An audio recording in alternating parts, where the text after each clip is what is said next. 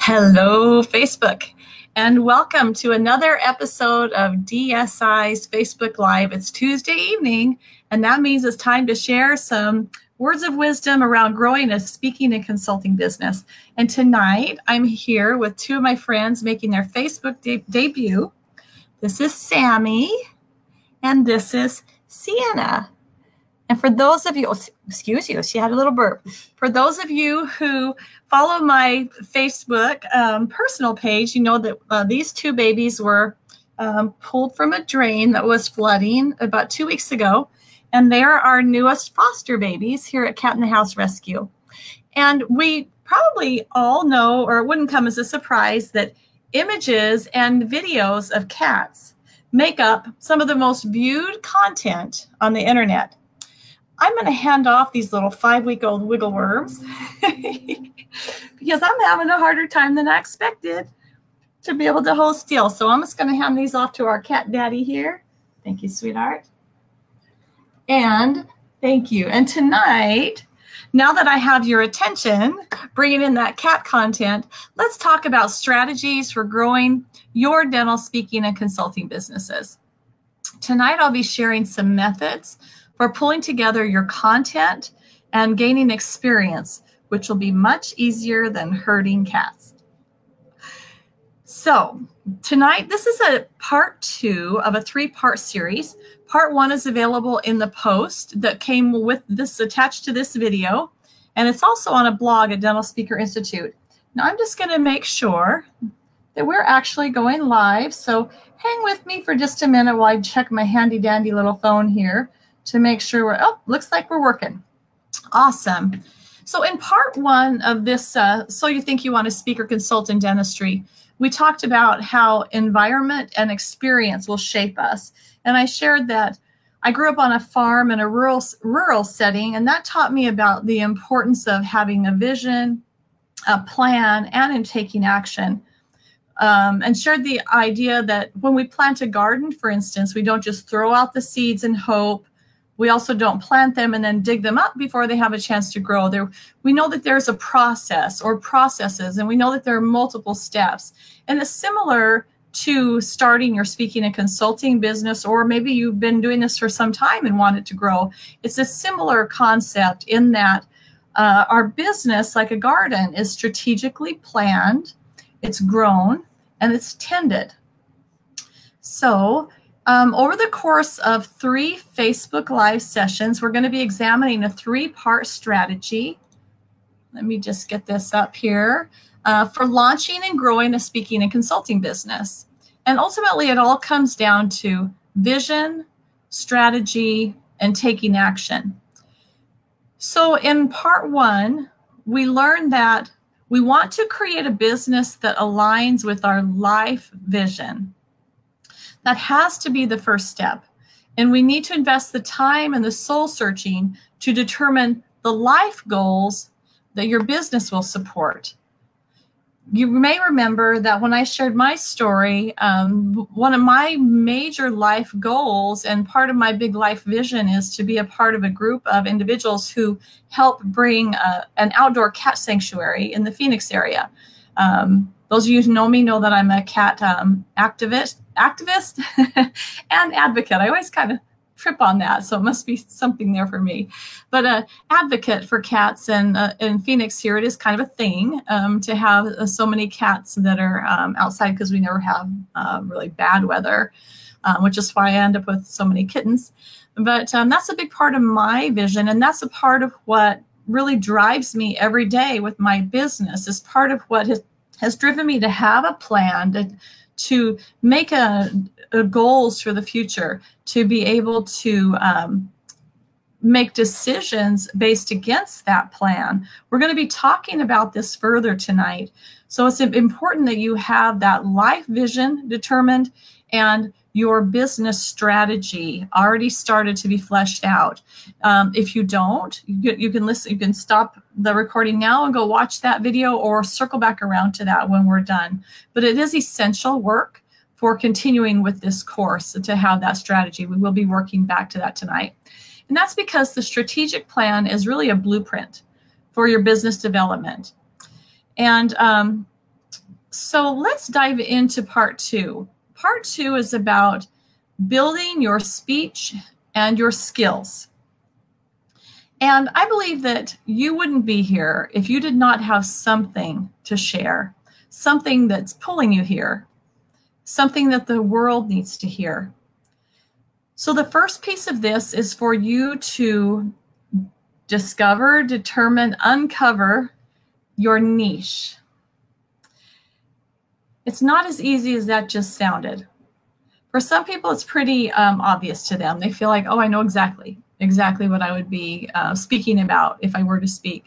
Um, but for others, I find that there are, you know, four, six, eight topics they could speak about that tend to be just as varied. I, I would encourage you that this is an area where less is more, and it's important to determine and pick a lane and determine how do you want to be known in the industry. Um, be known as the person who what is uh, someone who uh, teaches um, you know, OSHA, HIPAA infection control, um, but not necessarily phone skills or dental implants, which are kind of not even really that closely connected. Uh, if you do have more than one topic area, I would encourage you to think about making sure that they're really pretty closely tied so that it can be clear for others when they think of you um, what that niche is. So, how do you start? How do you determine that niche? I think that our environment and our life experiences really do shape us. I mean, certainly the reason I'm doing what I'm doing and what we're even talking about tonight is because of the years' experience I've had working with dental speakers. So, similarly, you as dental professionals, in what area do you feel that you have a message to share? And what clinical or administrative or business related topic do you feel pulled toward? to do you feel pulled toward? This is a starting place for determining your niche. And it also is a starting place to um, start determining the profit centers of your business. So when we go back to that strategic plan and we think about, we may have a profit center for speaking and what are we going to do to build up our speaking and one for consulting and what goals do we have around building out a consulting business? And maybe there's some product that you want to sell or you want to do online um, ce or you have you know other products or services and each of those maybe be in a different profit center. I encourage you to think about what's that brand what is that niche because that definitely ties back into how you're going to monetize your business. Now um, ultimately you want to pick a lane as I was saying, and become, be seen as a master of an area and not a jack of all trades. So that's really the first part of this um, section on building your speech and your skills. You have to know in what area are you going to be working. So that will be your first step. And then these next items uh, happen simultaneously. You'll want to develop your content while you're also improving your presentation and training skills. And ultimately, You'd also want to start your marketing at the same time, though that's in our part three. We'll be discussing next time. But so developing your content as well as improving your presentation and training skills. So how do you do that? Well, let's start with developing your content.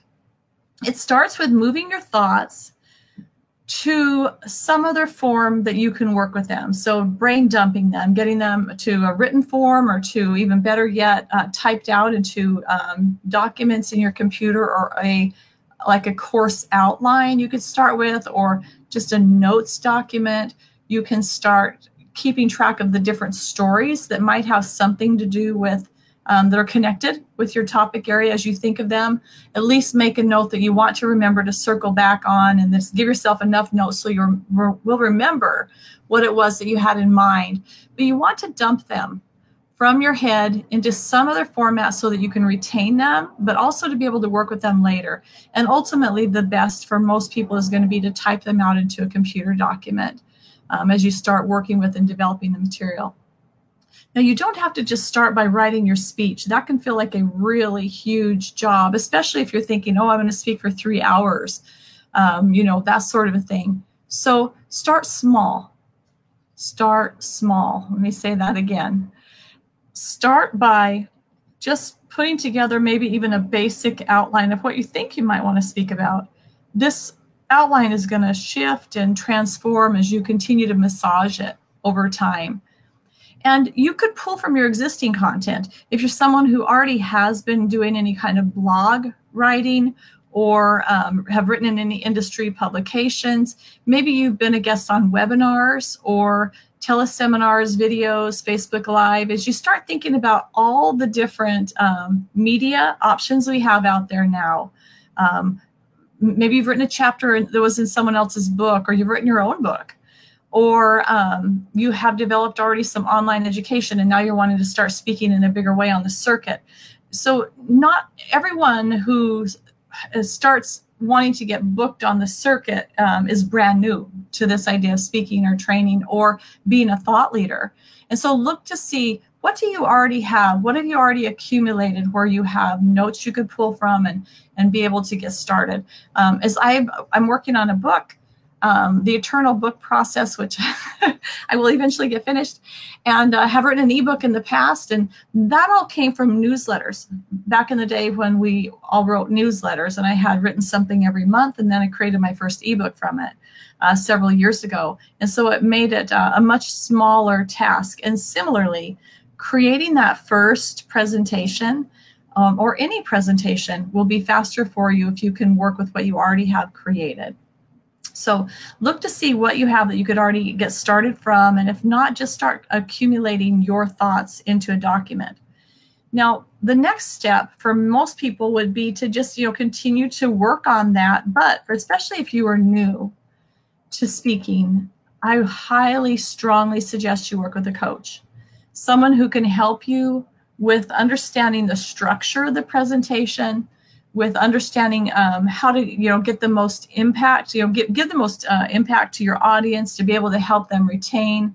Um, there are a couple of different resources i can suggest to you here in just a second because it's not just the writing of the presentation but also the presentation skills. And the um, speaker development coaches that i'm going to recommend um, are uh, faculty members of dental speaker institute um, they're exceptional. I've all I've received a coaching from each of them at different times.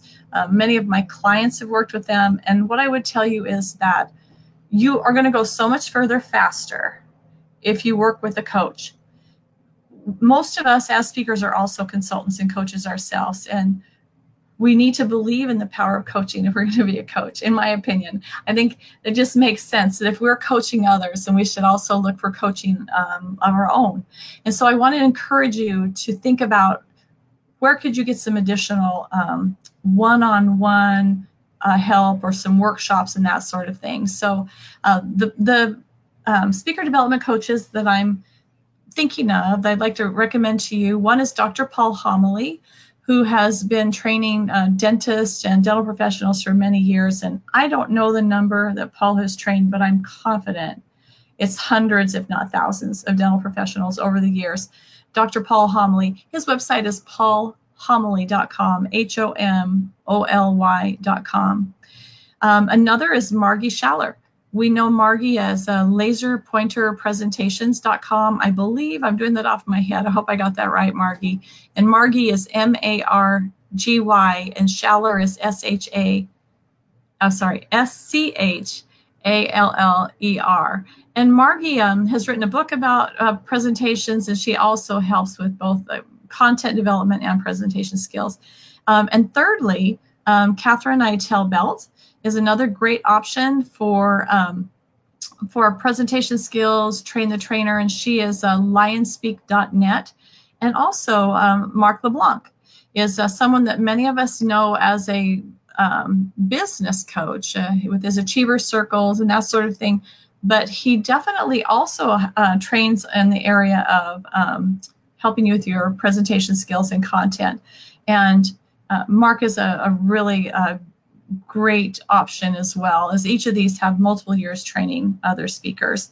So something to consider there when you're ready to start reaching out for maybe some one-on-one coaching or to attend. Each of them have workshops, different uh, types of workshops. So reach out to them to find out uh, how you can best uh, interact with them. If you need contact information on any of them, please just shoot me an e email info at thedentalspeaker.com and I'd be happy to connect you.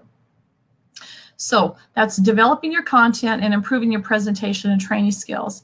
But we also have some other ways to um, grow in this area and something else that would be smart for you to be doing simultaneously as you start writing this presentation or as you perfect your presentation.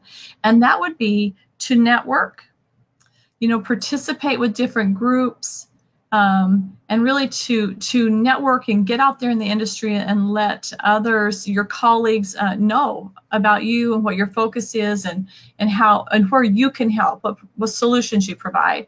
So um, a couple of other organizations I'd like to recommend to you in this area would be um, Toastmasters. I love Toastmasters, uh, Toastmasters International, and I couldn't tell you their website off the top of my head, but I think it's Toastmaster I, uh, toastmastersintl.org, but you probably should Google it. Um, but Toastmasters is all over the world, I'm pretty sure. For sure, they're all over the country. They have um, in every city, uh, they have different clubs. The cost is very low. Uh, it's very low cost. And uh, sorry, I was just looking at the comments. Thank you for the great information comment. Thank you for being here. And thank you for the thumbs up. Uh, thanks for listening in. And um, so Toastmasters, they have multiple programs. They have a simultaneously one to help you um, with your speaking uh, and presentations, but also a leadership track. So when you become a member of Toastmasters group, you can attend as often as you'd like. Many of them meet weekly, if not monthly, or by you know they're all different, different times a day. Some of them even are have virtual clubs where you can be in Iowa, for instance, and be a member of a club in Florida because um, if you don't have one close to you and you want to meet virtually. When I was in Toastmasters, it was about $10 a month. It was really low cost. Met wonderful people, and it was a great place for me to get my sea legs, for me to gain some confidence. They definitely have different um, exercises and fun games you play that really help you with being able to think on your feet and also to be able to think about the number of fillers, the you know, ums and the so's and the that sort of thing. It's just a really great place to start, especially it's great because of the low cost. I cannot stress it enough. Um, I would say if you're thinking about speaking, get to a local Toastmasters and just check it out and try it a little bit. You'll know if you've got the bug. And then if we're going to take this up to like multiple notches ahead of that, past Toastmasters would be National Speakers Association and that's nsaspeakers.org, I believe. And um, National Speakers Association has, um, I would venture, thousands of members in multiple industries all over the country. When I first started in dental speaking with uh, helping dental speakers and consultants with their um, growing their speaking and consulting businesses, uh, I, I, was working with Catherine Eitel Belt at that time, and we would go to the NSA um, annual session every year. And I learned so much by sitting in to, on those sessions and hearing what other very successful speakers have done around their marketing, you know, around the way they run their offices with just their different approaches. It's a really great organization. I would encourage you to, to find out more about them. They have um, chapters all over the country. And in Canada, your group would be CAPS, Canadian Association of Professional Speakers, I believe it is, and it's a sister organization. So I would encourage you to look at those organizations and see uh, where what you can learn from there. I, I, believe there are membership requirements for NSA that require you to have been speaking a while to be a member, but you certainly can attend their meetings without being a member. I have for years. So Toastmasters and NSA. Another great organization, and this one is just in dental, is Academy of Dental Management Consultants. So many of the members of the Academy are consultants and speakers. I believe I said this last time. I'll say it this time. I'll probably say it next time. For sure, I'll say it next time as well because uh, marketing, uh, speaking is really a marketing activity for most people. Most people speak in dentistry because they want to attract consulting clients or they want to be able to sell their books or their other products and services. So speaking is a, a great way to be seen as a thought leader, to be able to be out there um, and, and attract new clients. So for most people who speak, they're also consultants. I would really encourage you to check out the Academy of Dental Management Consultants. Their website is admc.net. And the Academy meets annually just prior to the um, ADA meeting. So, for instance, we'll be meeting in Hawaii in two weeks, middle October of this is uh, 2018. For those who are watching later, we'll be uh, meeting in Hawaii two days prior to the ADA for our annual session it's a wonderful organization that is very supportive. It's a great place to network. It's a great place to learn uh, more around building a consulting business. I think one for me personally, one of the best benefits of belonging to ADMC is um, the camaraderie and the relationships you build along the way so that when you do have questions or challenges, you can hop onto their private Facebook group and it goes out to just the members, and you can ask, um, what, what is your recommendation, or what did you do if you had this challenge? And I mean, sometimes it can feel like you're really alone in the industry because so many of us work from home or we work from our own private op- um, offices, and we don't really have that day to day colleague support. And so belonging to a group such as ADMC can be really beneficial for that reason as well so I mentioned several um, options for training as well as associations, that sort of thing.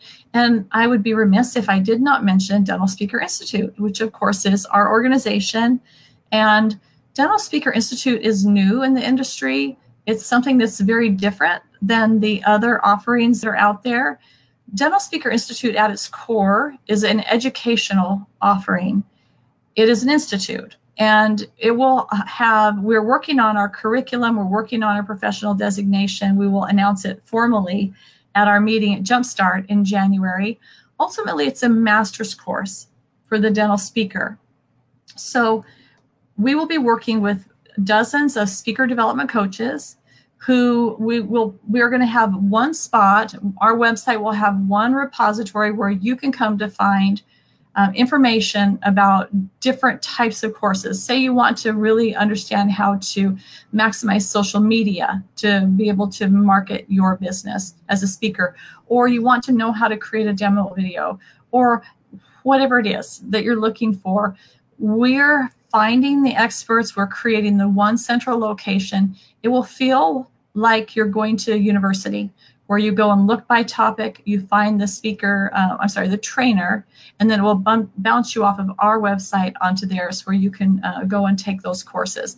Those courses would be considered part of our curriculum, which will be um, a professional um, speaking designation.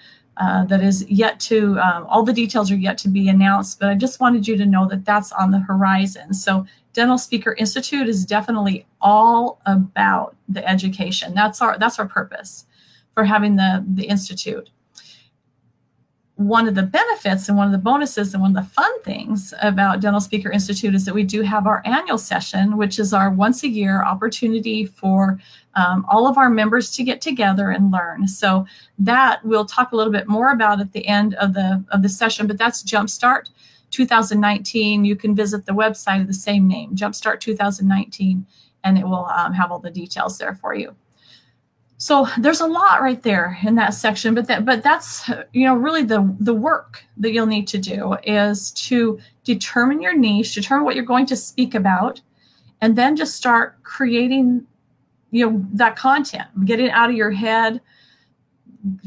I often refer to this phase of it as um, as if you were birthing a baby.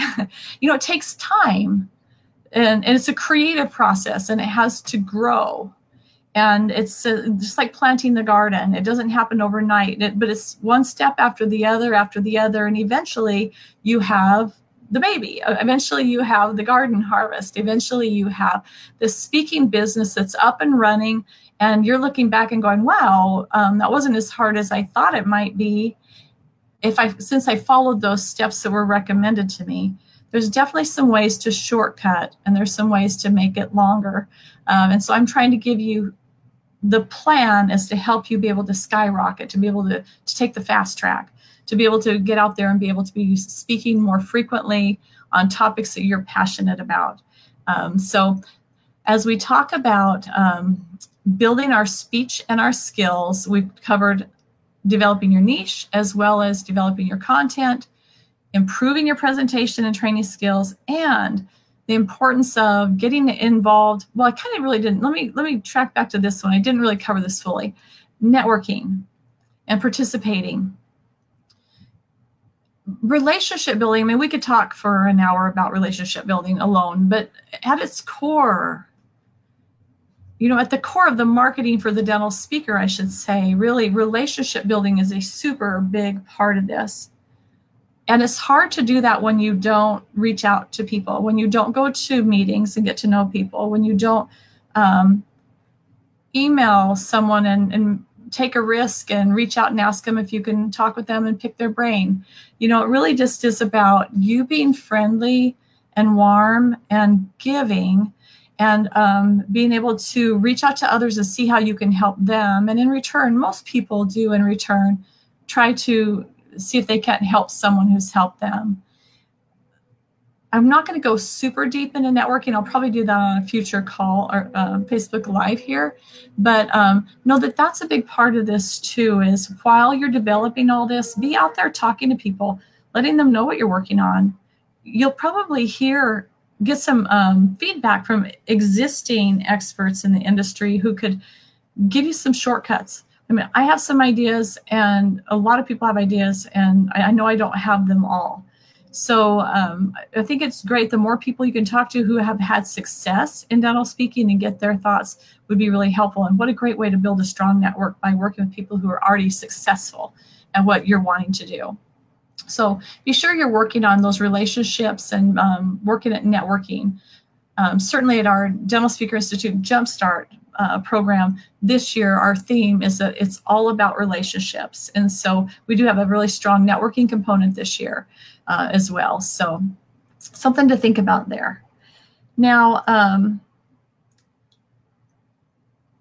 another thought to develop your skills and experience is volunteer uh, volunteer to speak for a local group, volunteer to um, be interviewed on a webinar, you know, volunteer to write an article, volunteer to be a guest on a podcast, volunteer to help your local dental society or um, ADMC or um, DSI, Dental Speaker Institute.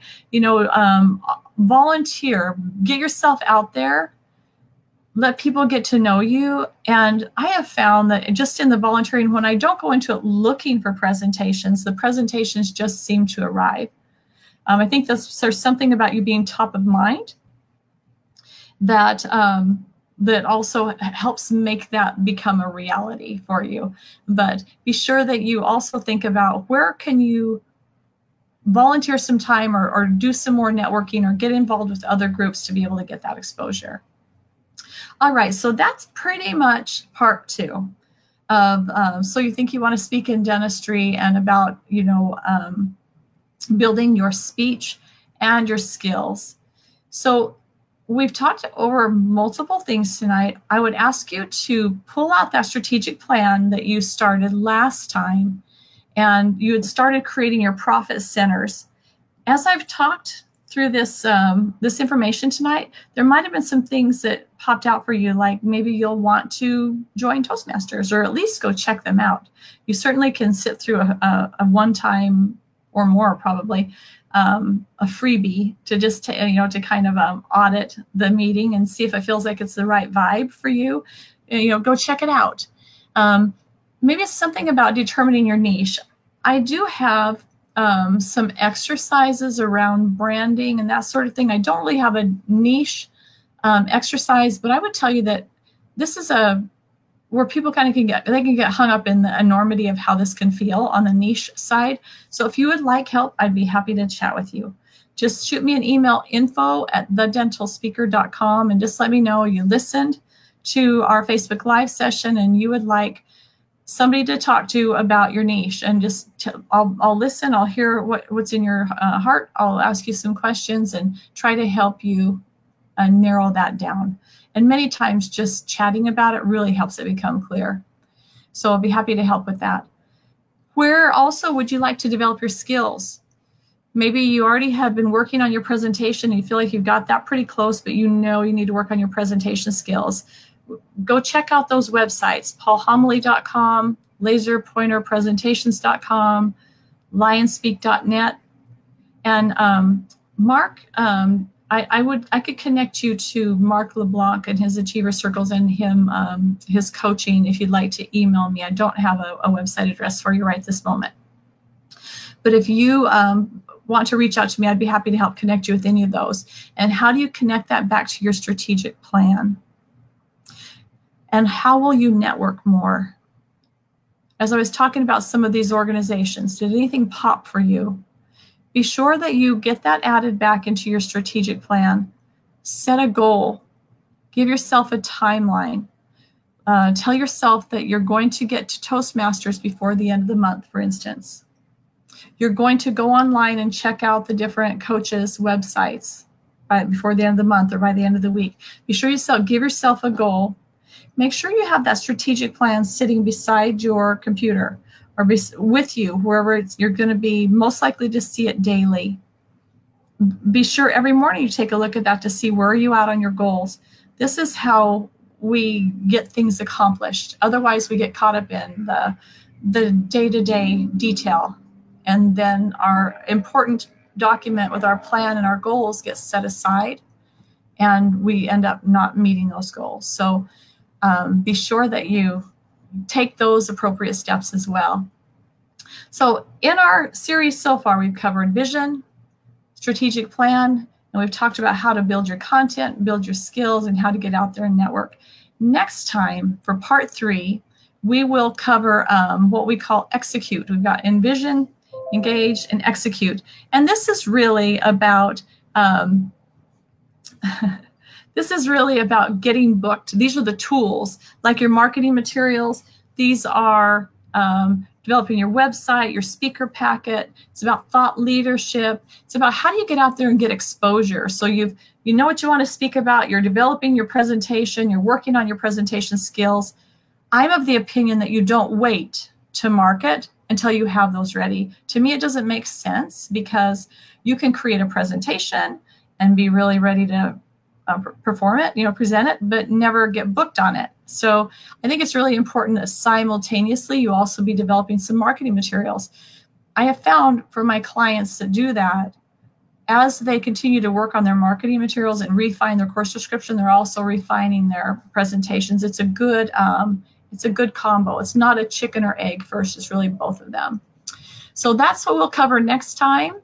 And uh, before we go, let me share with you a little more information around uh, Jumpstart 2019, which is our annual conference for Dental Speaker Institute, January 3rd through 5th of 2019 here in uh, Chandler, Arizona. And um, I thought it was gonna rotate. Let's let's have it go forward here. there we go. So you're seeing here on the screen uh, some of our presenters we have a really uh, beefy, meaty, uh, content-rich um, lineup for you with uh, roll up your sleeves content. We've got multiple workshops. This is not an association feel meeting. You're going to come with 100 to 150 of your colleagues and other meeting um, or industries, VIPs, other meeting planners, sponsors, editors, that sort of thing will be in the room as well. But it's not going to be um, hour long keynotes on communication or something that's kind of like a typical tradition uh, leadership. It's like more of a traditional um, association feel nothing wrong with that. It's just not this is not that animal. This is about you as speakers who want to make 2019 be the year. Here we are already in the last quarter of 2018 where will you be this time next year? This time next year is going to show up where will you be? Are you going to be where you are right now? Or do you want to be able to say, what do you want to say? You know, that you were able to uh, book a major meeting this year, that you were able to in, in 2019 to book five more engagements, that you were able to get your book published, that you were, what are those goals? What's inside you that you want to get a, to, to get accomplished, but you're not getting it accomplished? So come to Jumpstart a big part of what we do, we, we weave this thread through around that strategic plan idea. And by the time you leave after three days with this conference, uh, you'll have your, your marching orders for 2019 with your goals set. You're going to be jazzed and excited about dental speaking, and you're going to be ready and raring to go. So I really hope that you'll consider joining us. And we're super excited about uh, what, what we've pulled together, and um, I would love for you to be there. So um, thanks again for tuning in to tonight's Facebook Live episode. If you would like to reach out to me with any questions, I'd be happy to chat with you. Info at thedentalspeaker.com. Again, my name is Vanessa Emerson, and um, I wish you a good night. Thank you.